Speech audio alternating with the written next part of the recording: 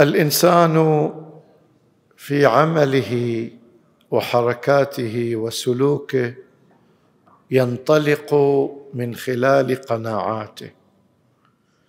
فالقناعة تنعكس على أفعاله. إن كان يؤمن بعقيدة حقة ستكون أعماله منسجمة مع تلك العقيدة.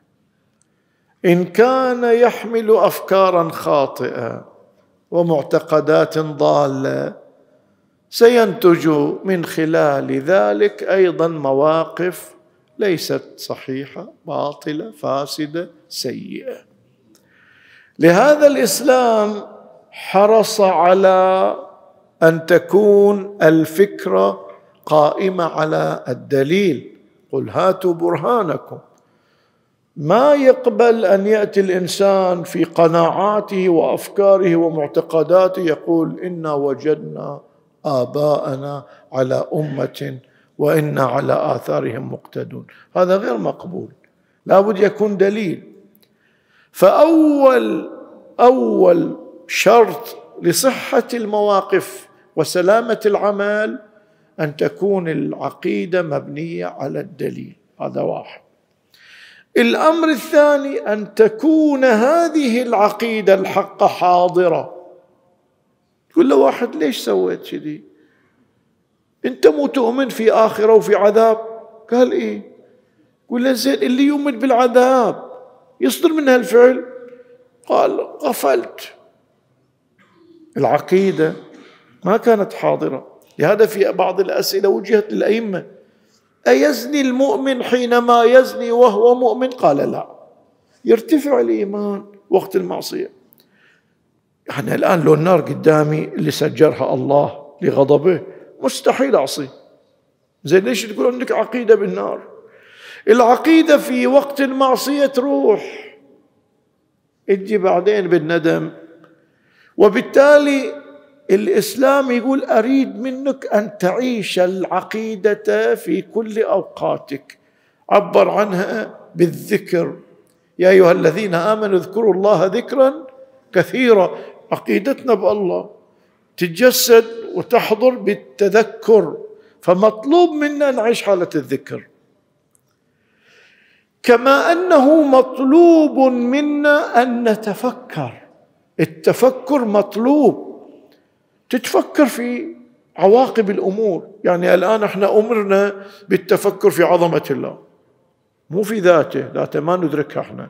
لكن في عظمته في أفعاله في صفاته.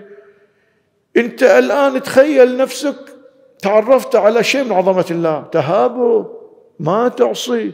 الله يقول في القرآن وأما من خاف مقام ربه ونهى النفس عن الهوى فإن الجنة هي المأوى. الخوف يخليه يرتدع.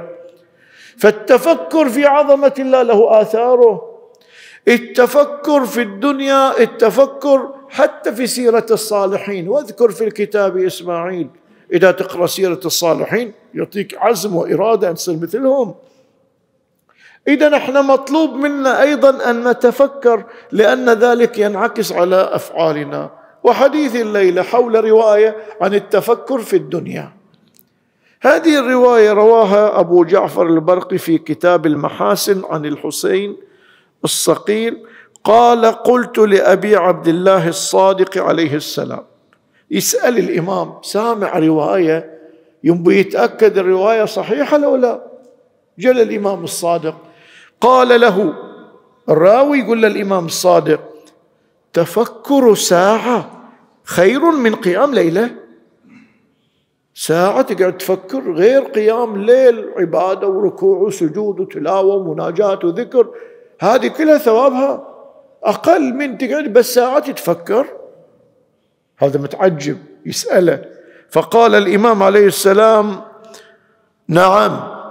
قال رسول الله صلى الله عليه وآله تفكر ساعة خير من قيام ليلة. كلام صحيح. الحين الراوي مو عارف شنو التفكر. قال الراوي قلت كيف يتفكر؟ أنا أريد الآن أطبق هالرواية بس ما أدري المقصود شنو. فالإمام أرشد إلى مفردة أو مصداق من مصادق التفكر. قال له الإمام يمر بالدار الخربة. هذه بنوها خربة لو كانت عامرة. وش تقولوا عامرة بناها صاحبها وسكنها. يمر بالدار الخربة فيقول أين بانوك؟ وين اللي بناك؟ أين ساكنوك؟ ما لك لا تتكلمين هذه دورة الحياة. أما الدور فسكنت وأما النساء فزوجت وأما الأموال فوزعت. في المقبرة يمكن يتهاوشون على الحلال. هذا الأولى ومن يرجعون البيت كل واحد يقول أنا أبي الدكان الفلاني واحد يقول أبي المحطة الفلانية واحد يقول إيش الوقت؟ وتجي المشاكل المشايخ على الإرث. وبالتالي بالتالي هي دورة الحياة يعني فرصة الإنسان. الرواية تقول كفى بالموت واعظة. لو بس نتفكر أن إحنا الموت بيجي تنتهي فرصتنا في الحياة الخالدة. يا ناجح يا فاشل. هناك ما في تغيير. تغيير هنا. ولا في رب ارجعون ما في رجوع.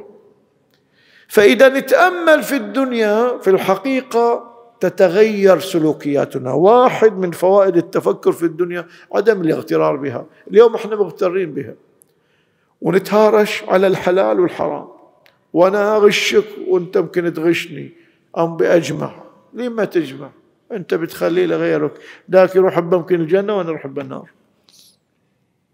فأول ثمرة من ثمرات التفكر في الدنيا وزوالها أنني لا أتعلق بها بحيث أعصي الله وأبحث عن أي شيء ولو كان بالحرام. هذا ما التفكر في الدنيا يجنبني هذا الأمر. اثنين أحول الدنيا إلى مزرعة للآخرة. أستغلها أستثمرها. شوف أمير المؤمنين يطلب من ربه أن يوفقه لاستثمار كل لحظاتها فيقول أن تجعل أوقاتي يسأل الله. من الليل والنهار بذكرك معمورة وفي خدمتك موصولة فإذا فرغت فانصب. يعني تخلص من شغلة تروح في شغلة ترضي, ترضي الله. يشتغل كل عمره. تستغرب أبو ذر كم عمره في صفين. لكن كأن شباب من حماس وإرادة وثبات. عمار عمار عفوا عمار. عمار كبير في السن في صفين. فتشوف هذا أبو ذر طبعا مستثمر وقته أيضا. هذين نماذج حية. الفائدة الثالثة من ثمرات التفكر في الدنيا هو الزهد الذي تقول عنه الآية لكي لا تأسوا على ما فاتكم ولا تفرحوا بما آتاكم. هذه المفردة إذا حلت في قلب إنسان حلت الطمأنينة. غير إحنا كلنا خايف خايفين على رزقنا وما يحصل رزق باكر ما يحصل أبو ذر جليل عبد يركض يقول له البشارة يا أبا ذر البشارة. شنو البشارة؟ على شنو تبشرني قال الغنم ولدت تكاثرت. أصلا ولا يعبرها الخبر أبو ذر. قليل يكفي خير من كثير يشغل يعني. قليل كفى خير من كثير ألهى. ما أريد الكثرة. ما يفرح بالزيادة. يقول أنا أقول له حاجة بس. هاي يعتبر الدنيا ميتة يأكل قدر ضرورة. بالتالي لو جابوا لي عشرين ميتة شو أسوي بيها يعني هاي ميتة ما أريدها. أنا باكل بقدر الضرورة. هاي أبو ذر. فالثمرة الثالثة أن تجعل الإنسان إذا فقد شيء لا يأسى عليه. ما عنده تعلق له. ترى الحزن سبب التعلق. اللي ينهار في المصيبة متعلق بما فقد. إذا ما في تعلق مسيطر على مشاعره. فهذه ثمرة من ثمرات التفكر في الدنيا. الثمرة الأخيرة تخلص من العداوات. تخلص من العداوات. لأن العداوات سببها موصلة إلى الأرض إخلاد إلى الأرض. إذا أحسدك أحسدك على شنو؟ على الآخرة أكو بابها مفتوح لي ولك. على الدنيا اللي مو بيدي أصير أغنى منك. أنا إذا الدنيا عندي هذه حقيقتها بعد أحسدك على وين؟ بل إذا وجدتك قد تيسرت لك الأمور أقول شان ما تفتتنك الدنيا وتخسر. أرى خطرا يحوط يحوط حولك يحوم حولك. إذا نحن إذا كانت الدنيا نعيش حقيقة معناها لا نغتر بها فلا نتقاتل عليها ولا نتحاسد ولا ولا ولا. سيد الإمام كان يقول الله لو يبعث 124 ألف نبي في دفعة واحدة دف أرسلهم في أزمنة مختلفة لكن يقول لو اجتمعوا لما اختلفوا لأن البوصلة أخروية والآخرة ما تفرق الإخلاص ما يفرق اللي يفرق الإخلاد إلى الأرض. وبالتالي بالتالي كلما تفكر الإنسان في حقيقة الدنيا كلما وجد نفسه يحن على حتى أعدائه حتى الأعداء يتمنى لهم الخير. شوفوا منخدعين بالدنيا. هذا الحسين يشوف عمر بن سعد. ينصحه يقول له تعال تروح النار بهالموقف يقول أنا خايف على داري خايف على ضيعتي خايف على كذا. والإمام مصر ينصحه إلى أن وجد قلبه مغلق. يجي واحد يطلب منا الإمام النصرة يقول أنا ما بأموت يقول لي عجل ابتعد.